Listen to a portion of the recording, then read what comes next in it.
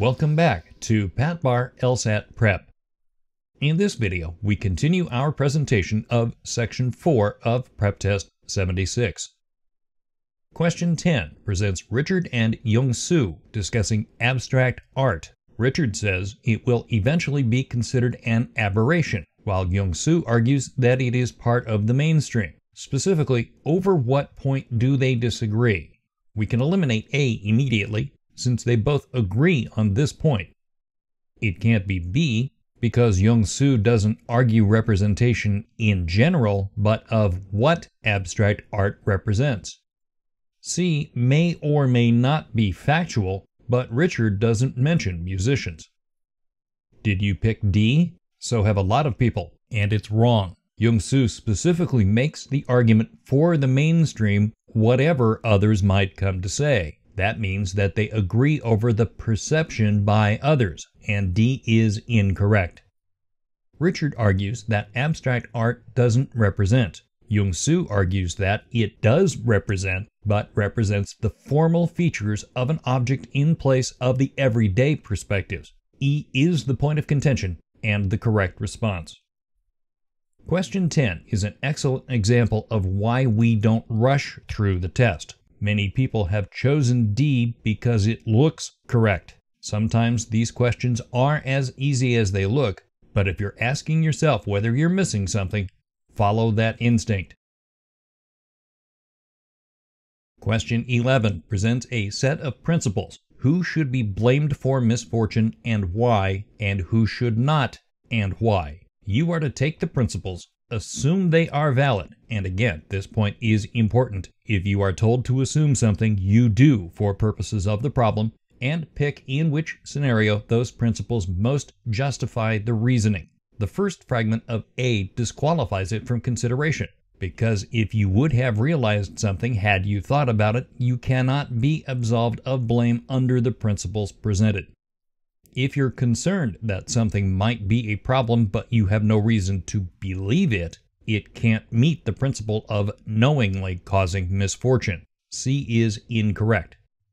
There are several problems with D. Remember, the principles we have to work with include knowingly equals blame, and D suggests no one knowingly affected this one patient. That means we have insufficient detail to assign blame to anyone the given principles cannot be applied to D. E makes perfect sense in your head, and if you chose it, you left behind the application of the given principles. The only one that supports should be blamed is knowingly causing misfortune. That Cap did not realize this means the first principle is not met. The cases in which the passage argues for absolution of blame are unwittingly bringing about misfortune and could not reasonably have foreseen that misfortune, and only B satisfies both these principles. Question 12 presents a researcher stating that since inhaling lavender scent tends to reduce stress, and since intense stress can make a person more susceptible to illness, reduced illness among those who inhale lavender scent is likely. You are to choose which response is a required assumption to make the argument work. Required assumption, as you will recall, means the argument fails without it. First, let's eliminate the irrelevant. The passage is specific to lavender, so whether any other scents have any effect is entirely unnecessary. That some people who use lavender scent to reduce stress are no more susceptible than average to illness is entirely possible, and entirely irrelevant. It doesn't speak to the argument that the incidence is likely reduced. D is cause and effect, but it is not a requirement. Assume the opposite, that using lavender scent reduces susceptibility to illness, but primarily for some reason other than reducing stress. Does it destroy the argument that the use of the scent likely leads to reduced incidence of illness? It does not, and is not correct. E is simply wrong. This assumes lavender would help only those people under enough stress to impair their immune systems. This weakens the argument that lavender would likely help anyone regularly inhaling the scent. If no one who uses lavender scent would otherwise be stressed enough to impair their immune systems, This would cause the argument to fail. B is the correct response. Question 13 presents government statistics showing that the average family's income has gone up over the last five years, says the Anderson family's is average this year, and concludes theirs must have gone up. We get a legitimately easy one here. To find the flaw in the reasoning, two words stand out this year. If we're constrained to this year, we don't know with the data we're given whether the Andersons earned more or less in the past. D is the flaw and the correct answer. Question 14 notes that certain methods of making counterfeit banknotes involve taking accurate measurements of images on those banknotes. The conclusion suggests that if some of those images are made difficult to measure, counterfeiting will be prevented. This is a bit of a leap, the conclusion seems to suggest that all counterfeiting would be prevented by stopping certain methods, specifically making images more difficult to measure. The correct answer needs to complete the connection between hard to measure images and preventing counterfeiting. It hurts the conclusion to assume that better copying technology means greater precision, which would have to translate into better measurements. A is just wrong. Three of our answers don't have any effect if a government has better printing technology than we do, it doesn't mean ours isn't good enough to do the job. That few countries print hard to counterfeit images means nothing. We're trying to complete the connection between hard to measure and preventing counterfeiting. That new designs mean less counterfeit currency tells us nothing, since we're not told whether those new designs include harder to measure images. To get from hard to measure images to preventing counterfeiting, we have to assume it is the only thing stopping you, the only impediment. B is correct. For question 15, Armstrong claims that Dr. Sullivan is acting in self interest when arguing for nutritional supplements rather than pharmaceuticals to treat a particular disease, since he is paid to endorse a line of nutritional supplements. Armstrong argues that, therefore, those supplements should not be used for that treatment. You are tasked with finding the flaw in Armstrong's argument. This one should be fairly straightforward, but let's eliminate anyway.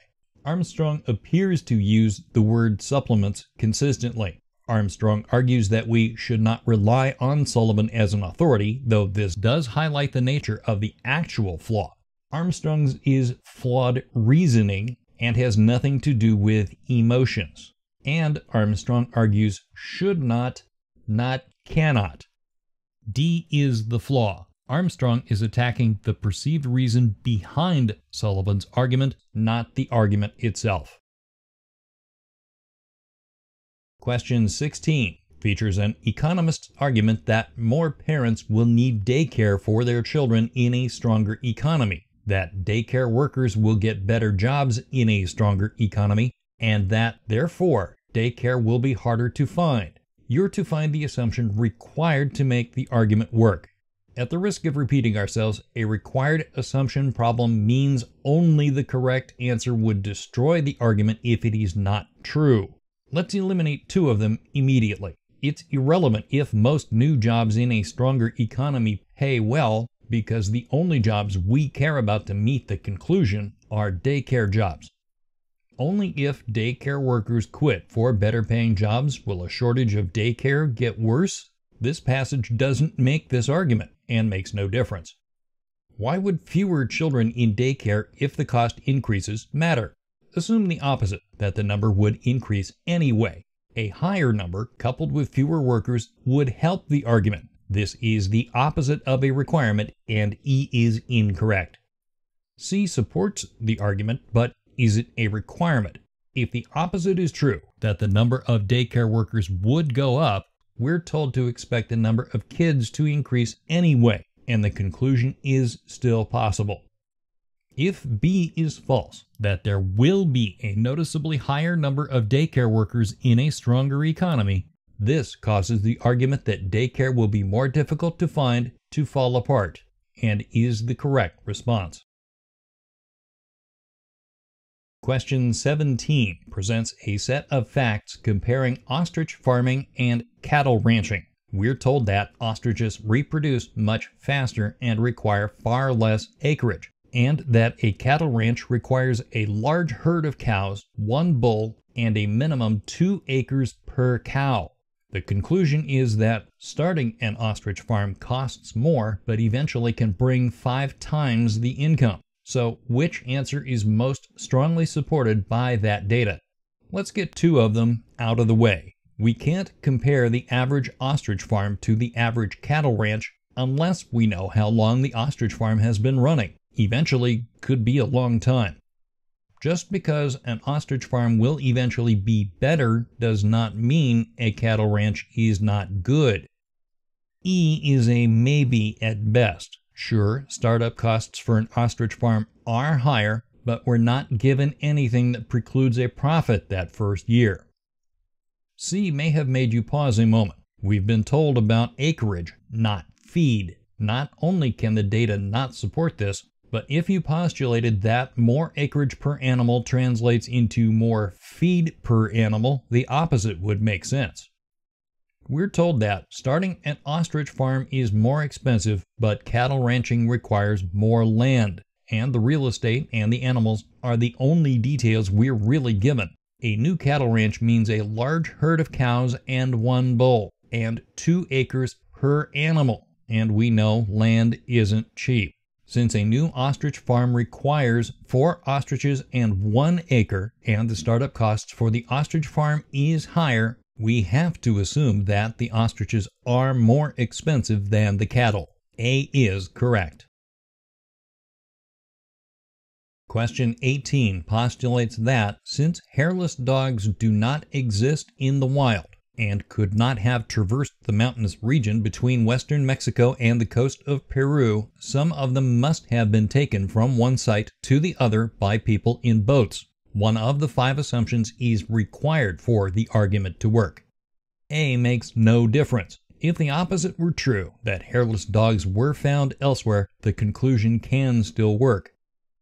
So what if most trade goods came by boat to western Mexico? Assuming the opposite has no effect on whether hairless dogs arrived that way from Peru. C seems to suggest that the dogs could only have arrived as part of a trading expedition, which would seem to make their relocation even more difficult. We need a requirement, not a hindrance. Not only is D completely irrelevant, but again, it would reduce that likelihood of relocation if the dog's purpose was as a means of exchange.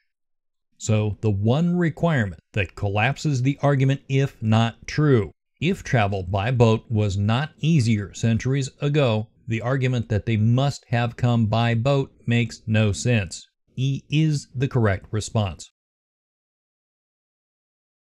In our next video, we will present questions 19 through 25 of Section 4 of Prep Test 76.